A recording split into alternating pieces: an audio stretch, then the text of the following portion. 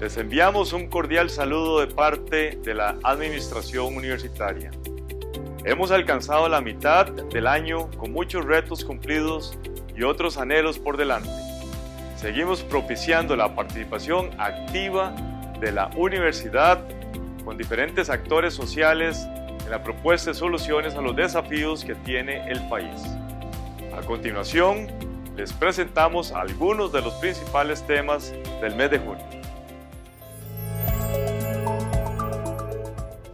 Este mes, el rector Gustavo Gutiérrez Espeleta y las diferentes autoridades universitarias presidieron los actos de graduación presenciales de 812 personas estudiantes de la Universidad de Costa Rica.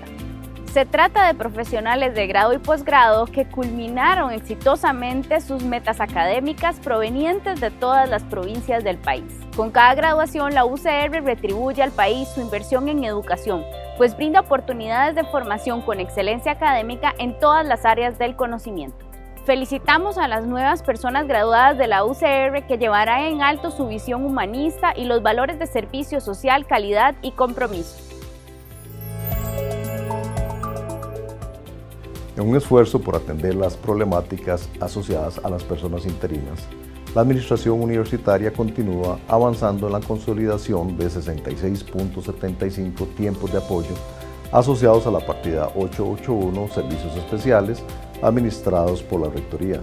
Continuamos avanzando hacia la reducción del interinato tanto en el sector docente como administrativo y en ese sentido la consolidación de plazas nos permite liderar este esfuerzo desde la Rectoría y consolidar condiciones laborales adecuadas para personas que llevan años trabajando en la institución.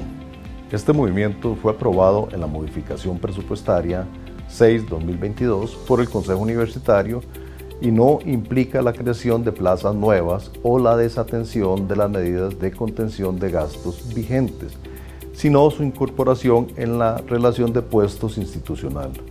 En los próximos meses, las plazas saldrán a concurso desde las respectivas unidades académicas y administrativas.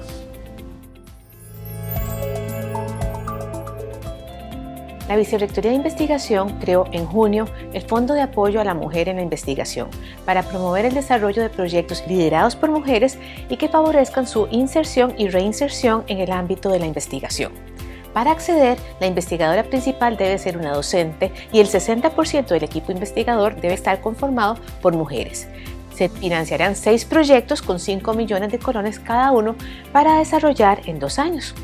Este es un esfuerzo que permitirá disminuir la brecha de género existente en el ámbito científico, lo cual se enmarca dentro de nuestra prioridad en contribuir con las acciones necesarias para procurar la igualdad de condiciones en el estudio y trabajo en la Universidad de Costa Rica.